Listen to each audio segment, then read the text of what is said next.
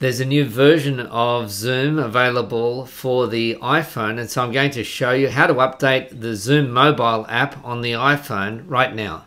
Now, the Zoom website tells you what's included in those new updates, and I'll include a link to the Zoom website release notes in the description to this video. By the way, if you want to update Zoom on the desktop, have a look at this video here. But I want to update Zoom on the mobile phone, on my iPhone. I'm using an iPhone 8 and I go into Zoom here. First of all, I want to see what version of the Zoom app I'm currently running.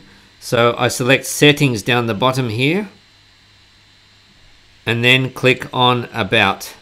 So you can see your current version and this process doesn't change even if you're not on the same version as I am at the moment. Now the Zoom app on the iPhone doesn't have an update button. That's not how it works. So to update Zoom you have to go into the App Store and find the Zoom app and you'll see that there is an update available. So you can see version 5.3.1 is available in my instance. So you click the update button and you're done.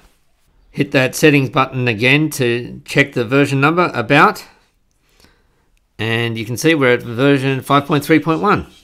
So that's how to update Zoom on your iPhone and this applies just the same even if you are not running this particular version.